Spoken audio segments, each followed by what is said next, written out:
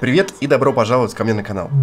Это серия видео, посвященная теории о синтезаторах. В основе этих видео лежит субтрактивный синтез. Это базовый синтез, который позволяет вычитать из основного звука что-то, например, фильтровать или делать огибающую этому звуку. Но также всквозь я затрагиваю и другие моменты. В этом видео мы поговорим о таком блоке, как источники звука.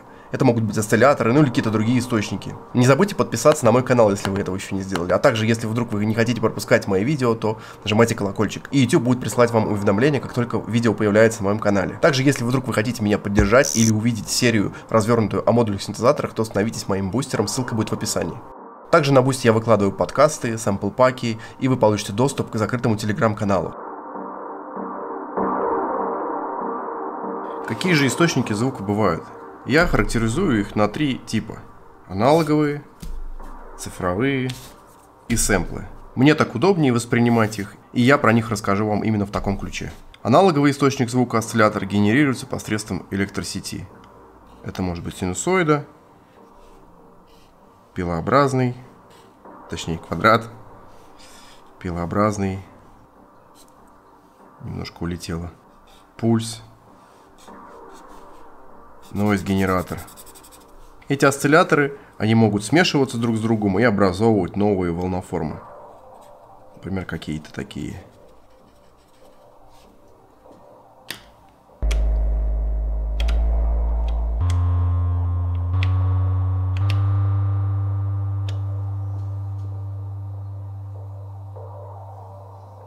Чтобы представить, как это выглядит, надо посмотреть на следующий график. Этот показатель является амплитуда или вольтаж. Здесь частота или как распределяется во времени эта волна.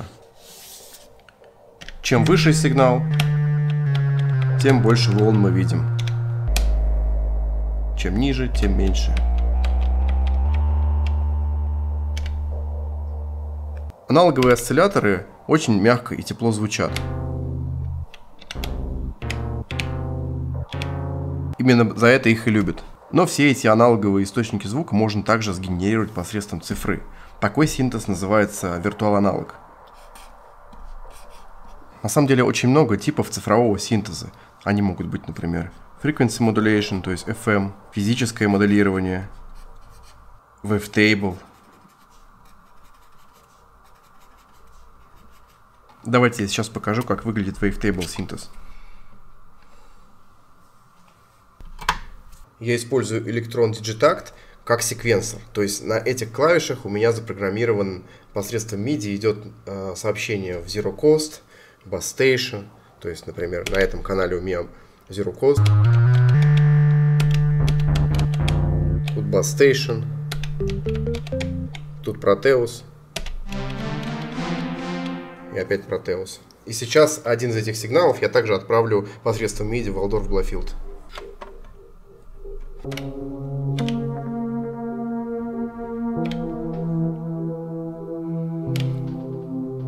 То есть в качестве осциллятора он использует wavetable. Первые два осциллятора wavetable, а третий это пульс. Ну а в остальном этот синтезатор похож на обычный аналоговый, то есть он как бы виртуал аналоговый получается, потому что здесь присутствует зона с фильтрацией, огибающий для этой фильтрации, еще одна огибающая. LFO. Различные формы. И матрица модуляции. Также очень интересным синтезом является FM. Он представляет собой несколько операторов, то есть источников звука, они так называются там. И в них присутствуют различные алгоритмы. Эти алгоритмы позволяют модулировать один источник звука другим. Это очень революционный синтез. В свое время он убил даже аналоговый. Ну, правда, ненадолго. Он очень хорошо представлен в таком синтезаторе, как и Digiton. Вот они, эти источники оператора, и у них есть несколько алгоритмов. Например,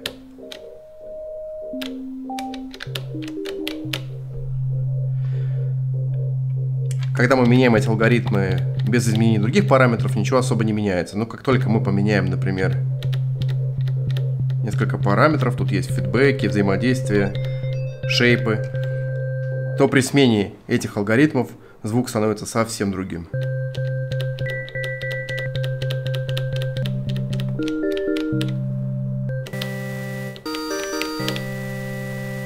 Digiton очень интересный синтезатор, поскольку он является FM-синтезатором, но архитектура у него субтрактивного синтезатора. У него также присутствует фильтр,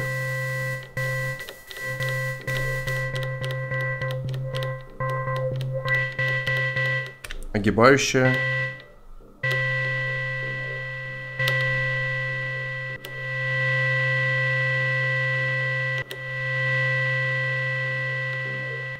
эффекты.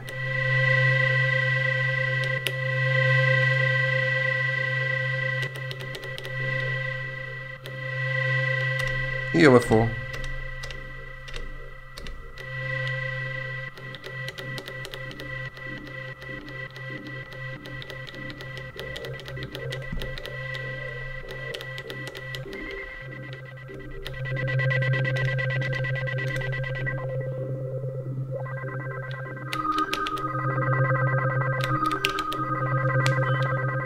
В цифровом синтезе на данный момент доступно практически все. Он максимально богат. Но, по моему мнению, теплота в нем, конечно, аналогового синтезатора отсутствует. Именно поэтому многие в своих студиях имеют как аналоговые, так и цифровые синты. Также в качестве источника звука многие используют сэмплы. Это очень удобно. Вы можете просто взять и записать какой-то звук и использовать его в качестве осциллятора. Сейчас уберу эффект.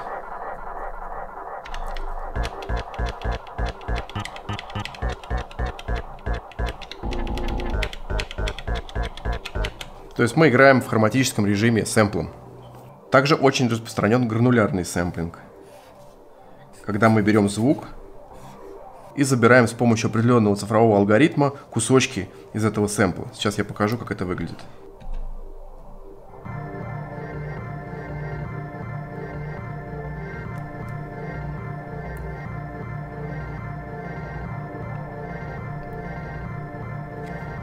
Обычно бывают настройки всякие для достижения различных результатов. Скорость, там, количество гранул. Это интересно для экспериментальной, там, например, или ambient, или атмосферной какой-то музыки.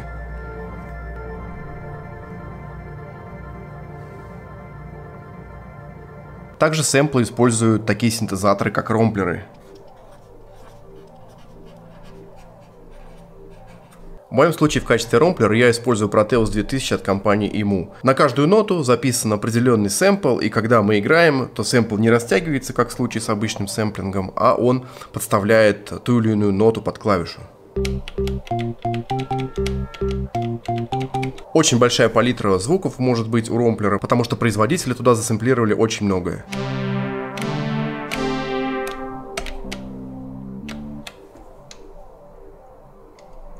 И даже аналоговые синтезаторы.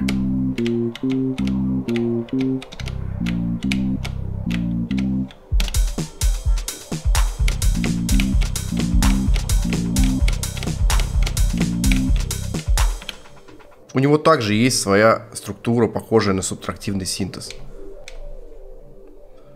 Здесь есть что-то типа осцилляторов, здесь они называются лейерами, их может быть до четырех. Амплифайер, огибающие, эффекты, фильтры. Фильтров тут очень много, о них чуть попозже также расскажу в следующих видео. И LFO для модуляции различных параметров. А также тут еще есть патчкорд. В принципе, это устройство представляет из себя цифровой модульный синтезатор. Давайте я покажу вам еще обилие цифровых источников звука. Например, модуль KNIT, он позволяет э, генерировать различные типы синтеза.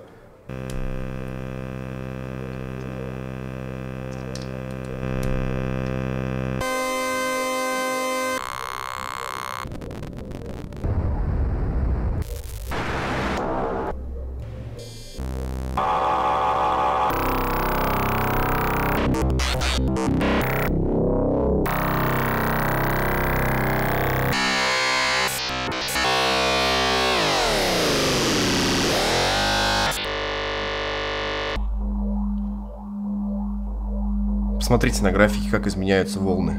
По-моему, это прекрасно.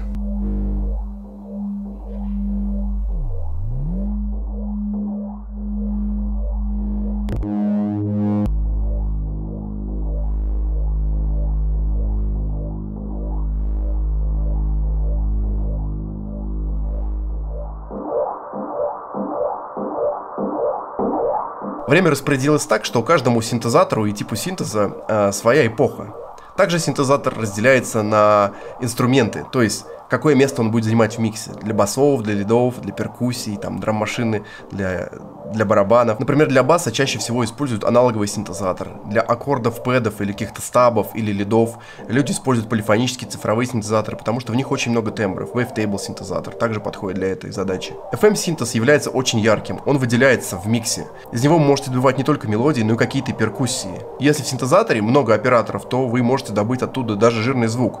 В Digitone, к сожалению, всего 4 оператора, и звук его, мне кажется, немного дряблым таким, но это здорово компенсируется тем, что в нем большое количество эффектов, крутой э, секвенсор, параметр локи и прочие штуки. Но в качестве FM-источника мне больше нравится использовать Plates, новая прошивка вышла, да, там появился FM, а также Acme Styco, очень крутой модуль по звуку. Все типы синтеза вызывают определенные эмоции. Если вы хотите, помимо музыкальных каких-то ходов, погрузить человека в определенную эпоху, то вам понадобится использование сэмпла. Это как яркая фотография, в отличие от просто какой-то векторной графики, которая разделена цветами. К тому же он очень доступен и максимально результативный. С сэмплами музыку можно делать быстрее, чем просто синтезировать. Она звучит богаче и объемней. Но тут, конечно, все зависит от стиля музыки, который вы предпочитаете. Я же обожаю свой Proteus. Это ромплер, в котором записано большое количество сэмплов различных синтезаторов. Я в него также установил очень много расширений, плат с других синтезаторов, и у меня там большая база этих звуков. Самый крутой осциллятор, который мне доводилось встречать, был AFG от компании Livewire Electronics. Его звук реально меня поражал. Не нужно было использовать ни фильтр, ни овердрайвы. Этот осциллятор имел функцию, которая позволяла обычный тембр превратить такой в более богатый. К тому же у него было очень много выходов. Классный осциллятор, но, к сожалению, очень редкий. По мне, именно так звучит аналог. И теперь, когда я слушаю аналоговые осцилляторы, я всегда сравниваю с AFG. В следующем видео мы поговорим о том, какие возможности у модуляра. До встречи!